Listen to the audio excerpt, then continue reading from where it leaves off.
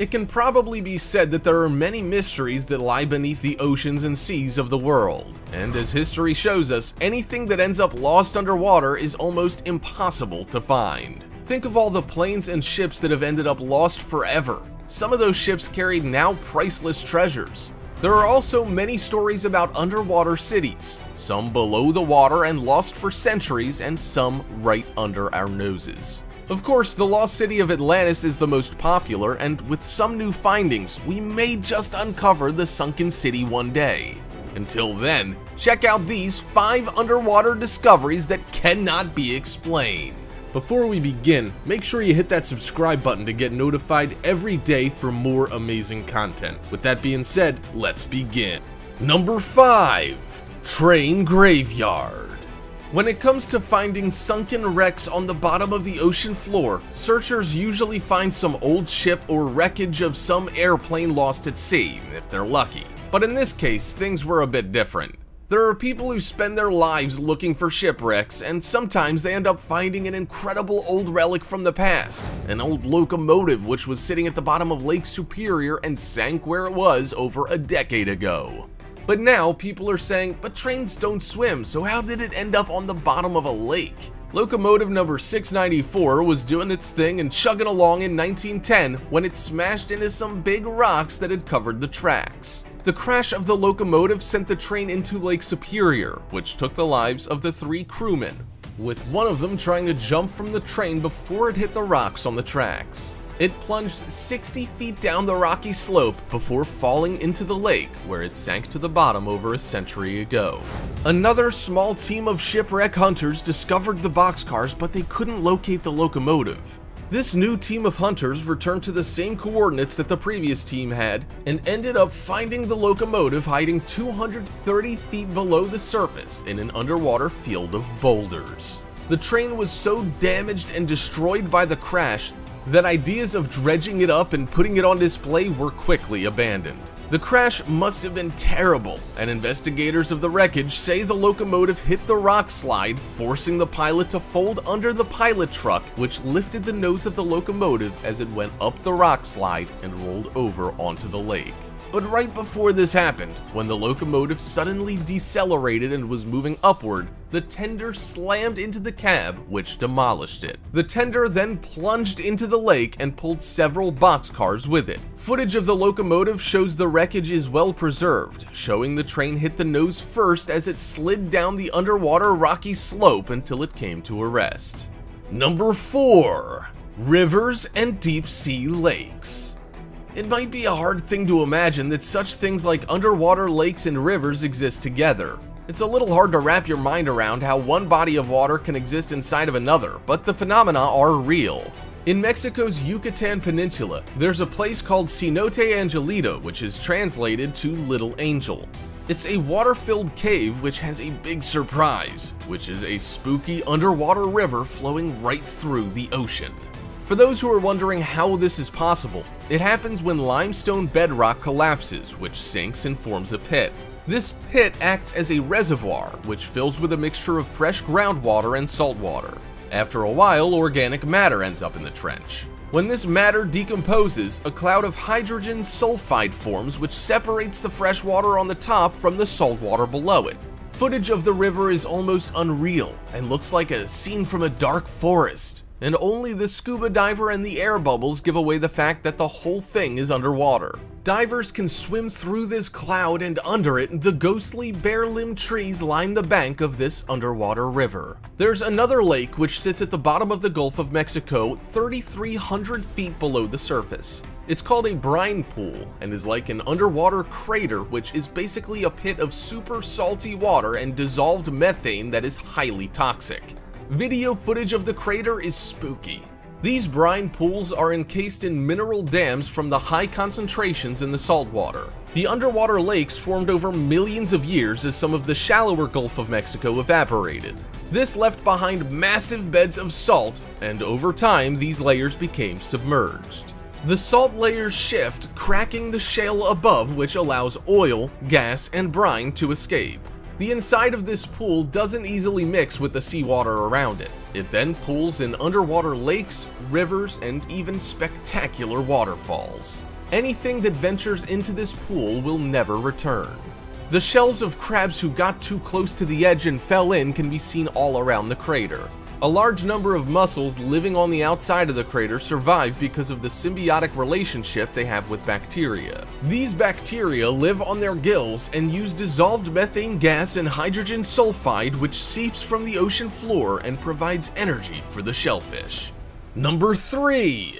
Ancient Underwater City it's been called China's mysterious underwater city, and beneath a lake somewhere lies a time capsule of Imperial China, and it's said that the water's hiding perfectly preserved temples which date back thousands of years. In the depths of Qiandao Lake in China, the eerie but beautiful sunken city. Video footage captured of the incredible sunken city, which is hidden in the depths of the lake, showed that the city is still in remarkable condition for being submerged underwater for nearly six decades. Divers found a jaw-dropping labyrinth that included highly adorned temples, grand memorial arches, and dragon carvings are intricately carved on the city structures. The city was named Lion City and was built more than 1,000 years ago. It got its name from the Five Lion Mountain under which the city stood.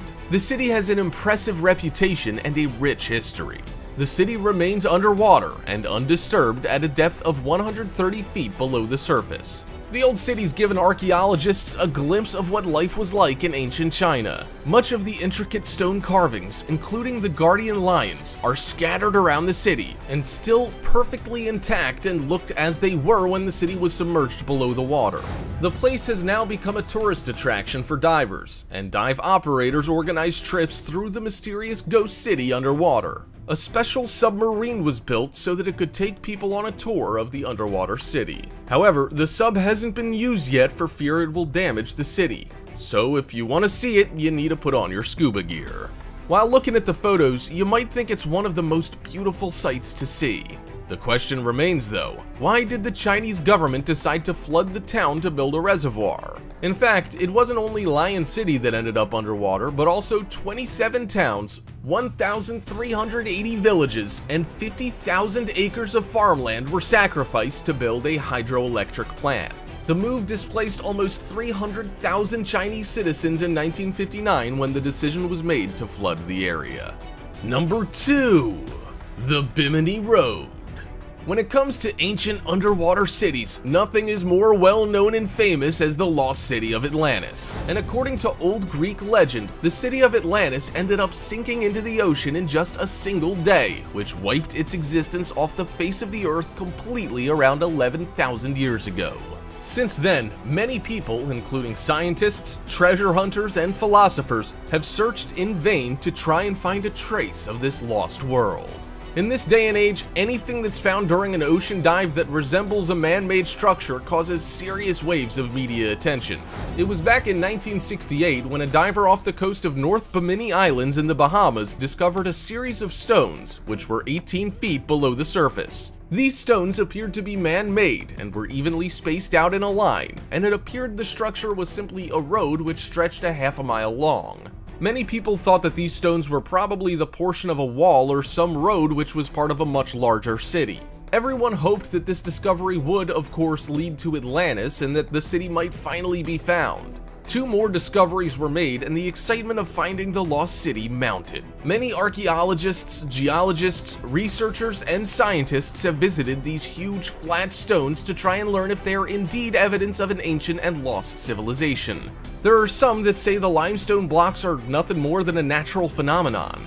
However, when looking at the large, flat rocks, they seem to have been purposefully cut and set in straight lines. It might be easy to conclude that it's a natural formation if it wasn't for the fact that the road stretches a mile long with a pronounced hook on one end.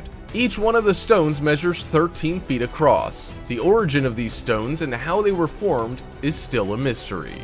Number 1. Pyramid-shaped structure. A Portuguese news outlet reported in 2014 that a large underwater pyramid had been discovered between the islands of São Miguel and Terceira in the Azores of Portugal. The man who found it, Diocleciano Silva, claims that the structure is perfectly squared and oriented using cardinal points. Using GPS, current estimates say that the pyramid is 200 feet tall and the base of the pyramid is 8,000 square meters. Found in the mid-Atlantic, the pyramid lies in an area that's been underwater for at least 20,000 years. This was around the last ice age where glaciers were melting from their peaks 2,000 years prior. It's not known who or what civilization was responsible for building the pyramid. The Portuguese Navy has not determined the origins of the structure. Some archaeologists have recently discovered evidence on Pico Island, which points to the existence of humans in the Azore region before the arrival of the Portuguese thousands of years before. Some say that the discovery is simply a volcano because the area it's in is comprised of nine volcanoes volcanic islands.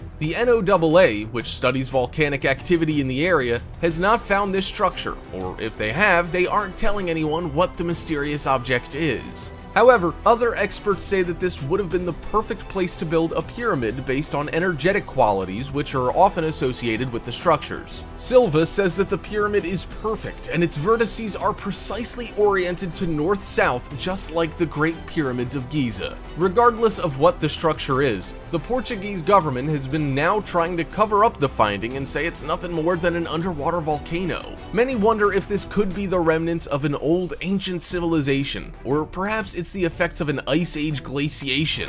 If an ancient civilization did build the structure, it would be interesting to find out more and see what's inside of the pyramid. But the cover up of the area with the explanation that it's a natural formation keeps anyone from knowing the real truth. Hope you enjoyed the video, top fivers. If you haven't already, check out our other channel, Americano, to enjoy even more amazing list videos.